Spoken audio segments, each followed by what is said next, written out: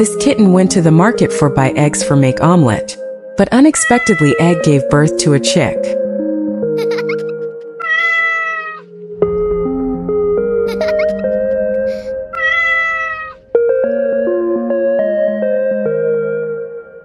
The kitten and the chicken made friends and spent happy memories together.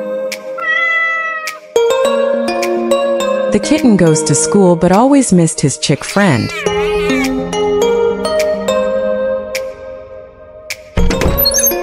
But when the kitten came home he was very scared because he thought his mother had roasted his chick friend.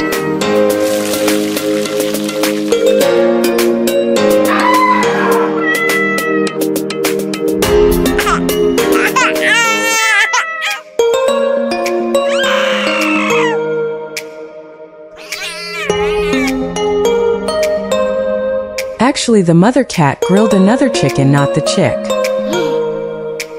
However when the chick saw the kitten eating grilled chicken, he was very scared and ran away from home.